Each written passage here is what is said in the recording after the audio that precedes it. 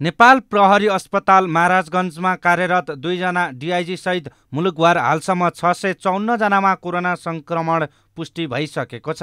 प्रहरी अस्पतालमा मात्रै छत्तिसजनामा सङ्क्रमण पुष्टि भएको छ। सङ्क्रमित मध्ये दुई सय चौन्नजना उपचारपछि निको भएका छन् भने चार सयजना सक्रिय सङ्क्रमितको उपचार भइरहेको प्रहरी प्रधान कार्यालयले जनाएको छ। प्रधान कार्यालयमा मात्र एक सय त्रिसठीजनामा सङ्क्रमण पुष्टि भएको छ जस्तोसुकै परिस्थितिमा पनि फ्रन्ट लाइनमा खटिनुपर्ने भएकाले पनि सङ्क्रमण बढेको प्रहरी प्रधान कार्यालयको निष्कर्ष छ। प्रहरी सङ्गठन फ्रन्टलाइन फ्रन्टलाइनमा काम गर्ने संस्था हो कर्मचारीहरू फ्रन्टलाइनमा काम गर्छन्।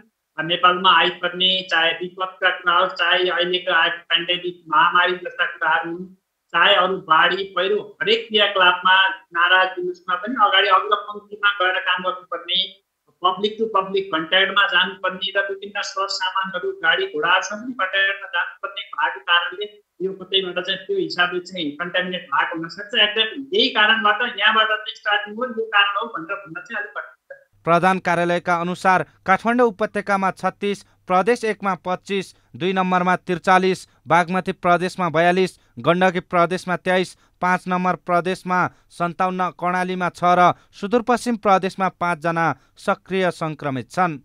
कोरोना सङ्क्रमण तीव्र रूपमा फैलिएपछि प्रहरी कर्मचारीले कोरोना बिमा बराबरको रकम पाउनुपर्ने माग गरेका छन्। हालसम्म कसैले पनि बिमा पाएका छैनन् तर सरकारी घोषणा अनुसार बिमा रकम पाउने प्रहरी प्रधान कार्यालयको दावी छ।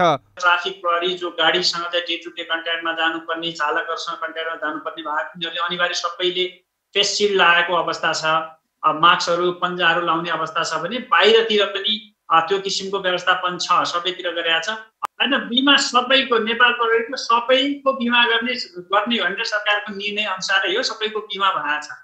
प्रहरीमा कोरोना सङ्क्रमण फैलिन थालेपछि प्रधान कार्यालयसहित अन्य कार्यालयहरू धमाधम सिल हुन थालेका छन्। सङ्क्रमितको त्रास नेपाल प्रहरीमा मात्र नभई सशस्त्र प्रहरीमा पनि बढेको छ। सशस्त्र प्रहरीमा हालसम्म दुई सय एकानब्बेजनामा कोरोना सङ्क्रमण पुष्टि भइसकेको छ। क्यामेरामा विष्णु थापाका साथ रूपक कुलाल काठमाडौँ।